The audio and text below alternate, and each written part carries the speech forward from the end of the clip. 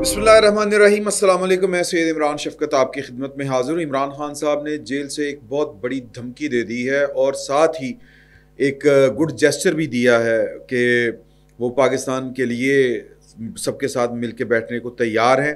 اور وہ ظاہر ہے کہ وہ اپنے لیے نہیں، انہوں نے یہ والی بات کی جو گڈ جیسچر ہے۔ میں اس حوالے سے بات کر رہا ہوں۔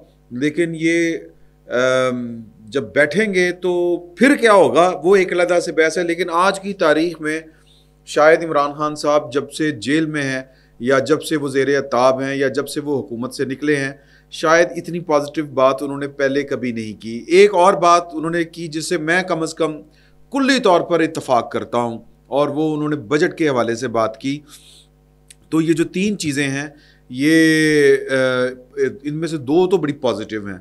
اور جو تیسری انہوں نے دھمکی دی ہے وہ بیسیکلی اگر آپ ان تینوں باتوں کو جو آج ان کی گفتگو تھی، غیر رسمی گفتگو پاکستان کے صحافیوں کے ساتھ جیل کے اندر، اس میں ایک تو ان کا ڈیسپریشن اگر تینوں کو اگر آپ واقعات کو ملا کے پڑھے جو انہوں نے تین مختلف باتیں کی ہیں، تو ان کا ڈیسپریشن لیول جو ہے وہ بہت ہائی نظر آ رہا ہے۔ تو جو انہوں نے دو اچھی باتیں کی ہیں ان میں سے ایک بات میرا خیال ہے کہ وہ اسی ڈیسپریشن میں ہی کی ہے کہ کسی طرح ان کی مصیبتیں کم ہوں۔ تو دھمکی انہوں نے لگائی ہے اور دھمکی انہوں نے مجموعی طور پر اپنے ساتھ ہونے والے ناروا سلوک کے اوپر لگائی ہے اور انہوں نے کہا ہے کہ میں نے مشاورت کرنے کا فیصلہ کر لیا اپنی پارٹی کے ساتھ کہ میں حکومتی رویے کے خلاف اور عدالتی رویے کے خلاف اور جیل میں ہونے والے سلوک کے خلاف بھوک ہڑتال کے اوپر چلا جاؤں۔ تا مرگ بھوک ہڑتال بھوک ہڑتال جب کوئی قیدی کا یعنی کر لے، ارادہ کر لے یا شروع کر دے، تو بہرحال یہ ایک ٹینشن والا کام ضرور ہوتا ہے۔ کس کس کو ٹینشن ہوتی ہے؟ ایک پریشر ڈیولپ ہوتا ہے۔ اور انسانی جو کہہ لیں کہ ہمدردی، انسانی حقوق جو ہیں، وہ لوگوں کے اندر جو حص ہوتی ہے، ایک انسانی ہمدردی کی، وہ بہت زیادہ جاگ جاتی ہے۔ اور لوگوں کی ہمدردیاں جو ہیں، وہ بھوک ہڑتال کرنے والے آدمی کے ساتھ جو ہے، وہ ہو جاتی ہیں۔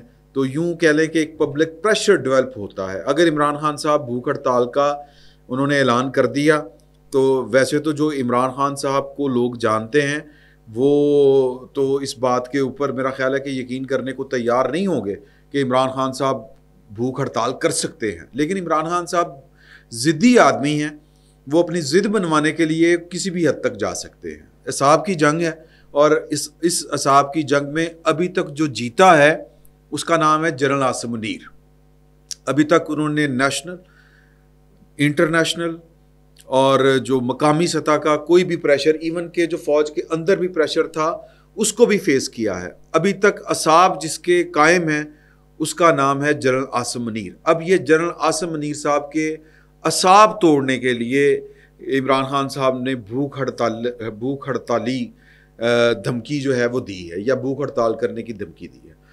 تو بھوک ہڑتال والا میں جب ان کا سن رہا تھا جب خبر آئی تھی تو میں پڑھ رہا تھا۔ تو مجھے وہ جو ہے نا فلم، انڈین فلم ہے، یہ والی بھگت سنگھ، جس میں رول پلے کیا ہے بھگت سنگھ کا اجے دیوگن نے۔ مجھے وہ والی یاد آ گئی کیونکہ جیل کے اندر جو ہے بھگت سنگھ، انہوں نے بھی ہڑتال کی تھی، بھوک ہڑتال۔ تو بھوک ہڑتال کا بہرحال امپیکٹ تو ہوتا ہے۔ اب یہ کیوں کر رہے ہیں بھوک ہڑتال؟ سوال یہ پیدا ہوتا ہے کہ کیا بھوک ہڑتال کر پائیں گے؟ یہ بہرحال ایک بڑا سوال ہے۔ میں نے جس طرح پہلے آپ سے کہا کہ عمران خان صاحب ایک ضدی آدمی ہیں، ہو سکتا ہے وہ کر لیں۔ پہلے تو وہ حوصلہ کریں گے۔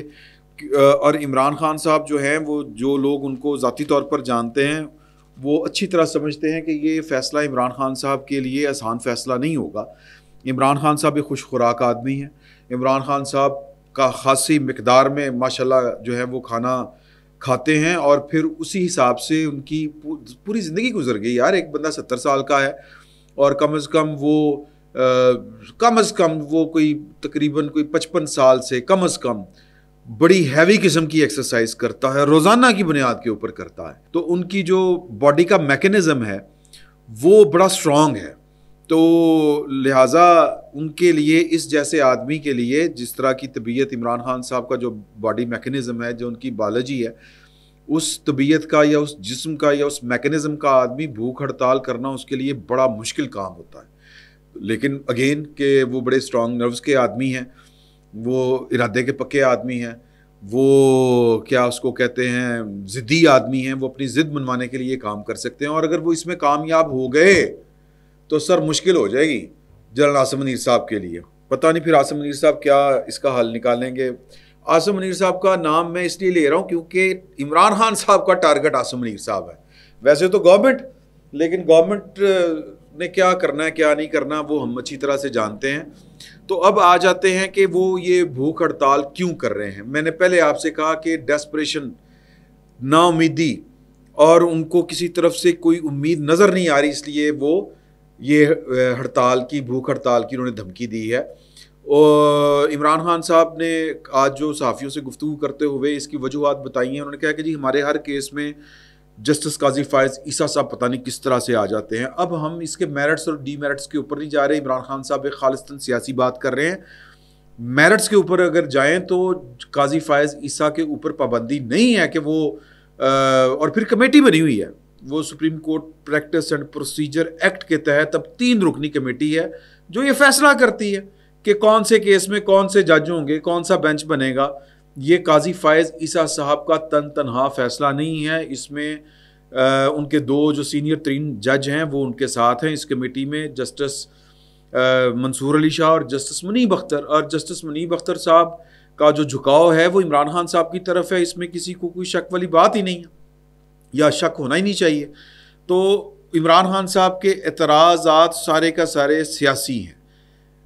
ایک بات تو یہ ہو گئی، کیونکہ کل بھی ان کے وکیل نے ان سے کہا تھا قاضی فائزہ صاحب سے، کہ جی کہ عمران خان صاحب کو آپ کے بینچ کی شمولیت کے اوپر اعتراض ہے اور انہوں نے جسٹس قاضی فائز عیسیٰ صاحب نے سپریم کورٹ کے پروسیجر اینڈ پریکٹس ایکٹ کے کی روشنی میں ان کے اعتراض کو اٹھا کے ردی کی ٹوکری میں پھینک دیا۔ اور کل بھی ہم نے یہی بات کی تھی کہ پاکستان تحریک انصاف کے ساتھ ڈیل کرنے کا طریقہ یہی ہے جی جا منہ ہو جی چپیٹ اب عمران خان صاحب اس کو پولیٹیکلی ڈیل کرنا چاہ رہے ہیں، تو ظاہر ہے کہ وہ پولیٹیکلی ہی ڈیل کریں گے۔ اس کے علاوہ تو قانونی طور کے اوپر تو وہ حق کے اوپر نہیں ہے۔ تو ایک پریشر ڈیولپ کرنے کی کوشش ہے۔ دوسرا دوسرا ان کا اعتراض ہے کہ یار، کہ بات یہ ہے کہ میں میرے جو پارٹی کارکن ہیں وہ کل یا لیڈرشپ تھی، وہ کل تین گھنٹے میں ان کا انتظار کرتا رہا، ان کو ملنے نہیں دیا گیا۔ یہ بھی ان کو بہت ناگوار گزرا۔ اور ان کو بیسیکلی جو چاہیے وہ یہ ہے کہ ہر وقت ان کے جو ہے وہ ہمنے چمڑے پنجابی میں ہم کہتے ہیں پیمپرڈ قسم کی جیل چاہیے ان کو۔ جو ابھی تک ان کو مل رہی ہے، آج کی تاریخ تک مل رہی ہے۔ صرف کیا ہوا کہ ان کے جو لیڈر ہیں، عمر ایوب صاحب، شبلی فراز واٹس ایور شاندانہ، گلزار ان کو ملاقات کل نہیں کرنے دی گئی۔ اب اس کی کوئی پراپر ریزننگ ہوگی؟ مجھے نہیں پتا وہ کیا ریزنز دی تھی جیل انتظامیہ نے، لیکن بہرحال وہ ریزننگ تھی۔ تو عمران خان صاحب جو ہیں، وہ ان کو نظر آ رہا ہے کہ یار کہ مخصوص نشستیں بھی میرے ہاتھ سے جانے والی ہیں۔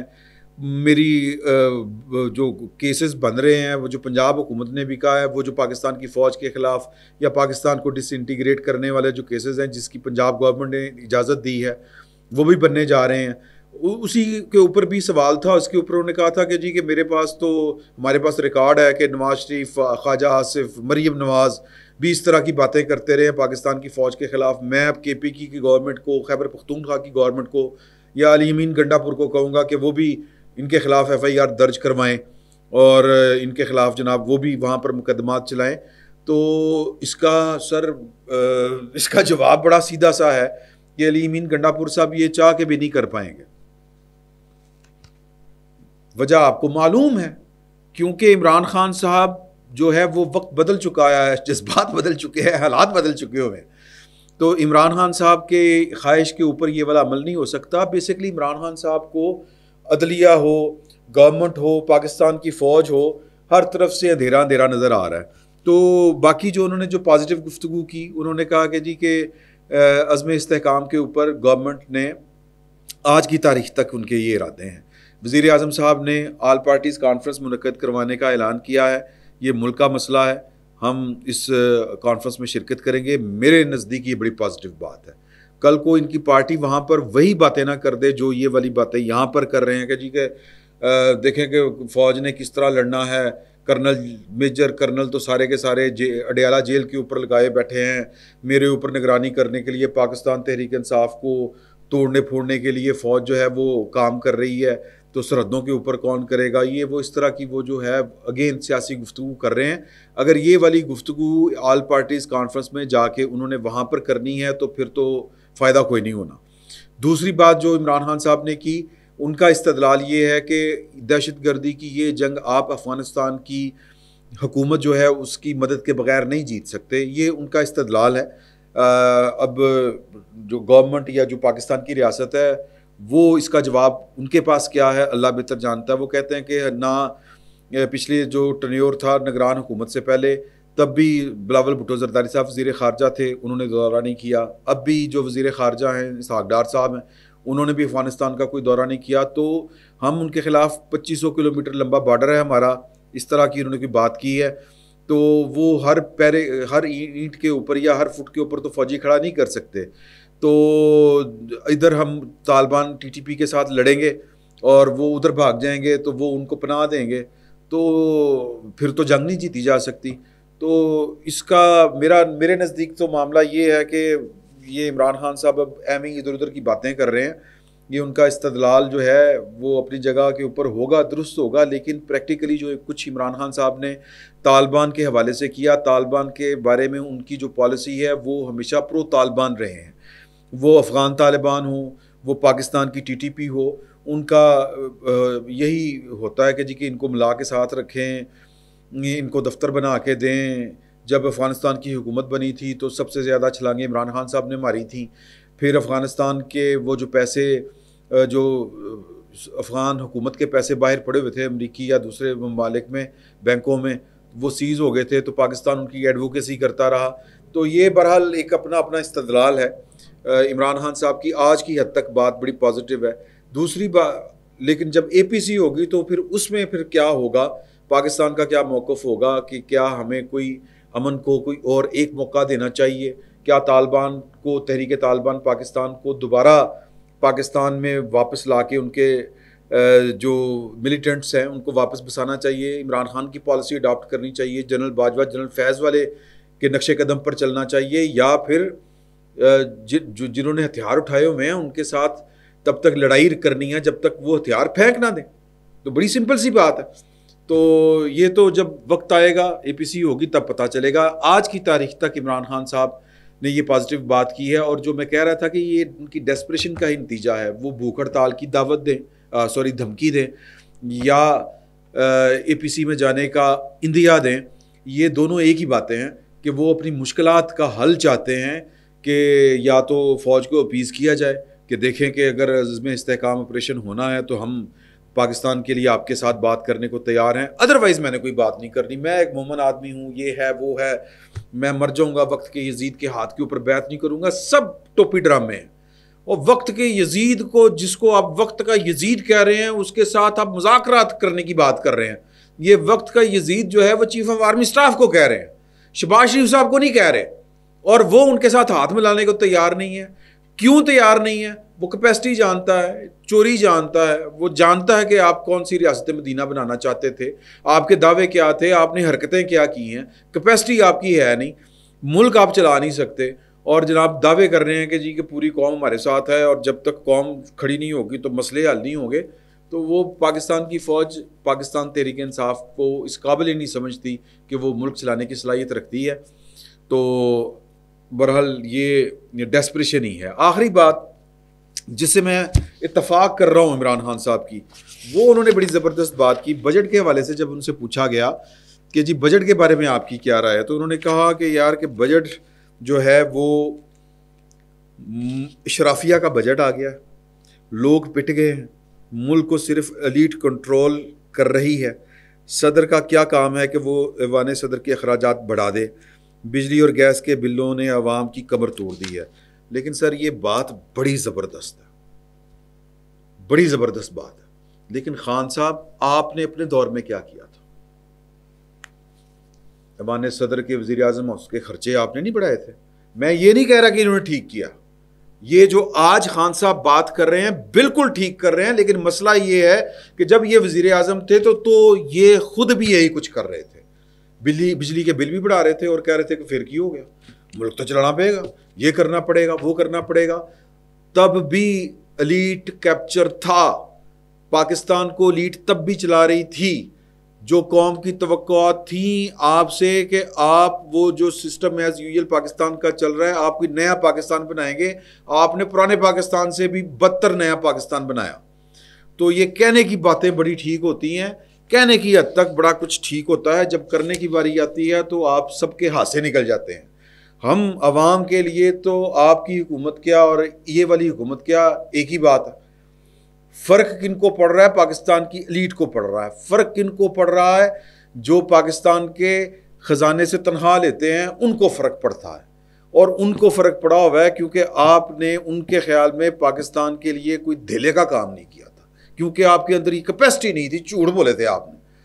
تو یہ اتنا سا ماجرا ہے۔ تو اتنی سی لڑائی ہے۔ اس سے زیادہ نہ کوئی نظریاتی لڑائی ہے، اس سے زیادہ نہ کوئی جمہوری لڑائی ہے۔ نہ ہم جو ہے وہ اخلاقیات کے اعلیٰ سطح کے اوپر پریکٹیکلی ہیں۔ ساری خالی کھلی باتیں ہیں۔ باقی آپ نے تبکی لگا دی ہے۔ قاضی فائزیہ صاحب کو بھی، جنرل آصف نیر صاحب کو بھی کہ میں بھوک ہڑتال کروں گا، وہ بھی آپ شوق پورا کر لیں۔ ہو سکتا ہے کہ آپ کی یہ دھمکی کام کر جائے پریشر ڈیولپ ہو۔ اور آپ کے آپ کے ترلے ترلے کرنے آ جائیں، قاضی فائز صاحب بھی وہ کہہ دیں، نہ بھی خان صاحب روٹی کھا لو۔ میں کل تو ٹاٹا کوئی کیس نہیں سنا گا۔ اور جنرل آصف نیر صاحب بھی ہو سکتا ہے خود پانی لے کے آپ کے پاس آ جائیں یا وہ مینگو شیک لے کے آ جائیں کہ خان صاحب ہے، پیو۔ تو چلو آؤ بہ کے گل کرنے ہیں۔ باقی تو حال کوئی نہیں ہے۔ اگر بات بات بھوک ہڑتال تک آ گئی ہے تو پھر نہ ہی سمجھو۔ فی الوقت اتنا ہی۔ بہت بہت شکریہ۔